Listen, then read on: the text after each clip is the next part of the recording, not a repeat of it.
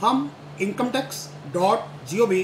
dot in की website पर हैं। लॉगिन हमने पेन नंबर लिख दिया कंटिन्यू इसको में क्लिक करना होगा। हमने पासवर्ड लिख दिया और किया कंटिन्यू पेन नंबर आ गया मोबाइल नंबर लिखा हुआ है, आधार नंबर लिखा हुआ है और ईमेल यहाँ पर लिखा हुआ e file income tax return file income tax return हमने किया select assessment year 2022-23 online continue start new filing हम इंडिविजुअल हैं कंटिन्यू